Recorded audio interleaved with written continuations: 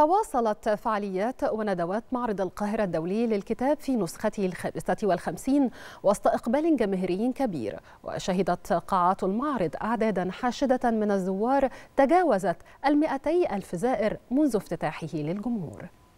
في رغبة بناء لاكتساب المعرفة يأتي الإقبال الجماهيري المستمر على قاعات معرض القاهرة الدولي للكتاب في دورته الخامسة والخمسين مع تجاوز عدد الزوار 200 ألف من جميع فئات الأسرة المصرية. معرض الكتاب السنة دي جميل جدا وطبعا كل سنة بحرص على زيارته كل الفعاليات فيه جميلة والتنظيم جميل والقراء والزيارات مكثفة.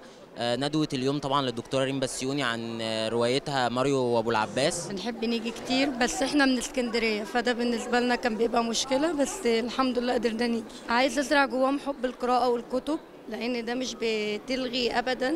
التواصل الاجتماعي ده ما ينفعش يلغي القراءة والكتب لأن دي أهم حاجة وهي اللي بتثبت المعلومة أكتر. قاعات المعرض شهدت عددا من الندوات والفعاليات الثقافية منها كتاب إمام التفكير وإطلاق مشروع ديوان الشعر المصري وأثر تجديد الخطاب الديني. هو الكتاب فكرته الأساسية إنك بتستعرض حياة الدكتور نصر حامد أبو زيد وبتستعرض إنتاجه الفكري.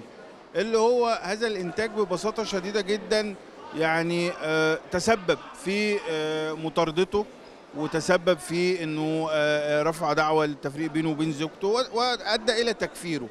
أنت بتقول طول الوقت إنه أي تفكير أو أي اجتهاد يمكن التعامل معه بالرفق يمكن التعامل معه بالحوار.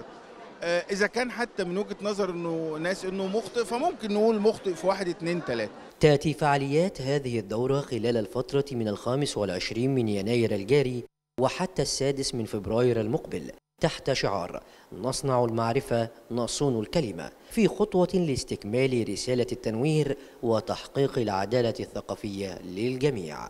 رامي محمد التلفزيون المصري.